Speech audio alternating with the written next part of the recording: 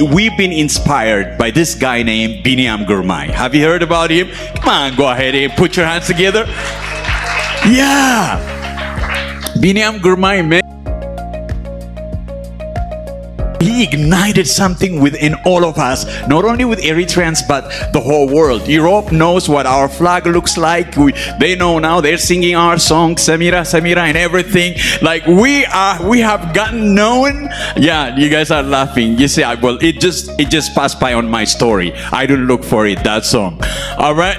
But so what you see he inspired us. The first black not just african black cyclist to ever win tour de france. I mean he took the green jersey home. Green is going home. My post for a long time was about him and just like you know. A friend of mine said well come on why are you getting so excited about this?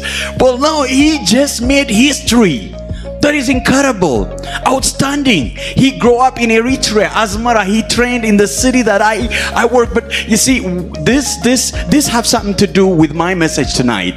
I I I came across a video that he had an interview years ago about for I think four uh, six years ago it could be. He said this. He said, you know what? I envision myself to actually participate on Tour de France. Not only that, not only participate, but also win it. That's daring. Can you see that? That's pushing boundaries and limitations. I mean, it's been dominated by white Europeans for year, for 110 years, and he was he was brave enough to declare it. He was in he was brave enough not only to see it, not only did he envision it, but he was brave enough to to speak it out.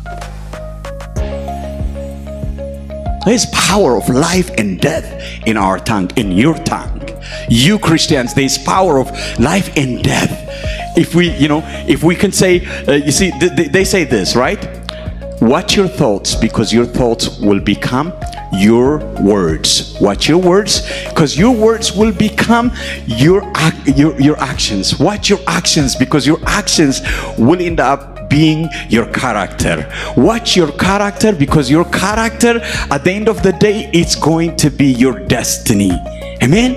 And so this today, the way you view yourself. Yesterday we talk about the Holy Spirit. We talk about going deeper in God. When we go deeper in God, where the Spirit of the Lord is, we go from glory to glory. We go deeper in the knowledge of God, not only in the knowledge of Christ, but in the knowledge of who we are. When we know God, we get to know who we are, what we're made of. I'm looking at a room full of people that have earth shaking ability in them. Amen. I love when you guys praying. That was a powerful prayer.